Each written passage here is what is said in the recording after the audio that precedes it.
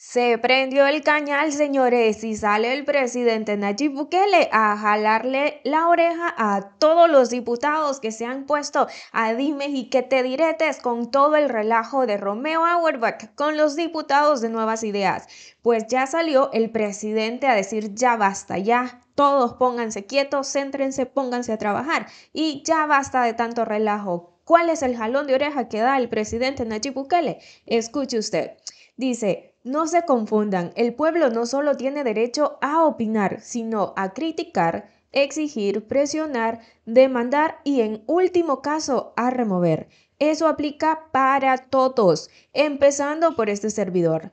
Este gobierno ha demostrado ser el que más escucha al pueblo y así seguirá.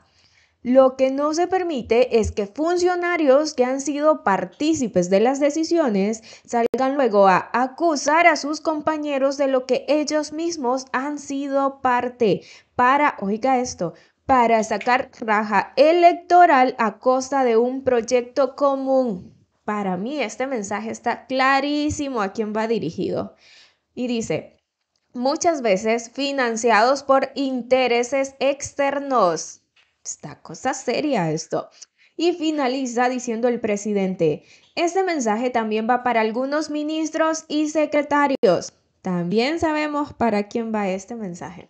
Y dice, no se tolerarán caballos de Troya ni quintas columnas en el gobierno, pero con el pueblo humildes. Tampoco se tolerará la prepotencia. Muy bien dicho, presidente Nayib Bukele. Yo creo que esto de la prepotencia, que le, que, que le caiga parejo a Carlos Brook, porque ese señor para mí ha sido un irrespetuoso y un prepotente hasta decir ya no.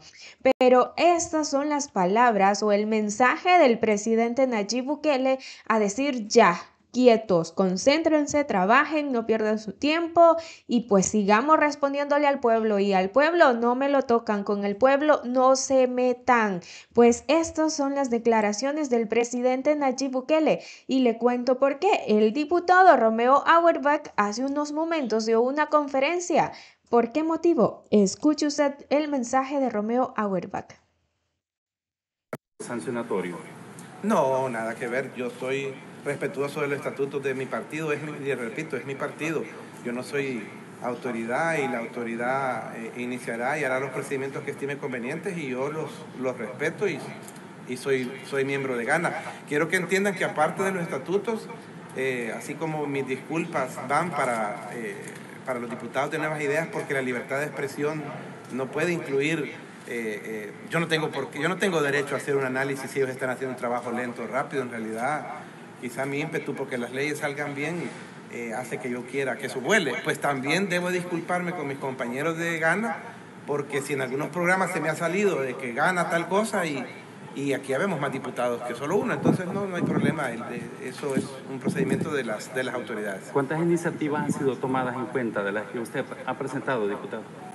Perdón, para abundar a esa pregunta, en todo caso, ¿cómo quedarían sus cuestionamientos entonces en el sentido que sus iniciativas no han sido retomadas o que hay iniciativas como la ley de agentes de seguridad privada que no han avanzado? ¿Cómo quedaría lo que dijo entonces en carácter de qué?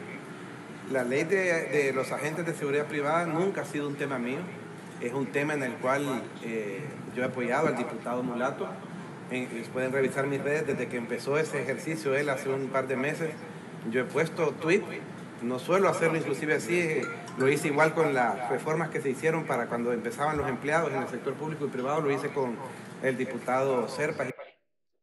¿Qué le parecen a ustedes las declaraciones de este diputado? Y, escuche esto.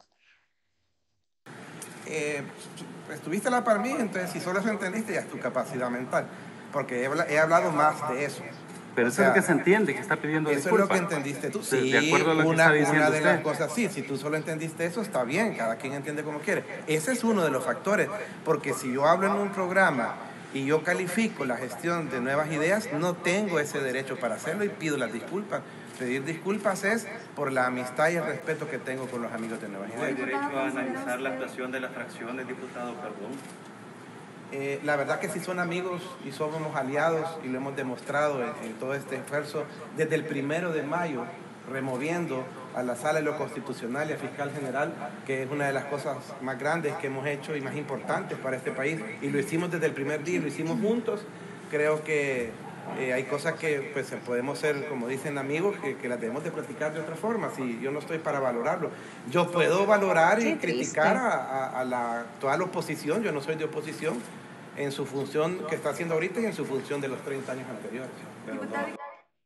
Miren, para mí muy lamentable y triste las declaraciones del diputado Romeo Auerbach, pero está perfecto que el presidente Nayib Bukele ya salga ya y ponga un ya, estate quieto ya. O sea, encachimbaron al presidente Nayib Bukele y viene él y arrasa parejo. Porque dice, no se confundan, no el pueblo tiene eh, derecho a opinar, a criticar, a exigir, presionar, demandar y en último caso a remover. Esto aplica para todos, empezando por este servidor. Y esto que definitivamente está más que claro, dice, lo que no se permite es que funcionarios que han sido partícipes de las decisiones salgan luego a acusar a sus compañeros clarísimo el mensaje de lo que ellos mismos han sido parte para sacar raja electoral a costa de un proyecto común. Y con esto que finaliza, este mensaje también va para algunos ministros y secretarios. Ya sabemos para cuál ministro. Y también dice, no se tolerarán caballos de Troya. Con el pueblo, siempre humildes, no como un diputado de Nuevas Ideas, Carlos Brook, que andaba ahí amenazando y que por cierto borró su tweet y ahora ya publicó otro donde salía pidiendo disculpas y se había malinterpretado el tweet donde decía de que solo porque lo estaban cuestionando eso implicaría hasta cárcel. O sea, este mensaje dice, pero con el pueblo humildes, esto va para ese diputado también.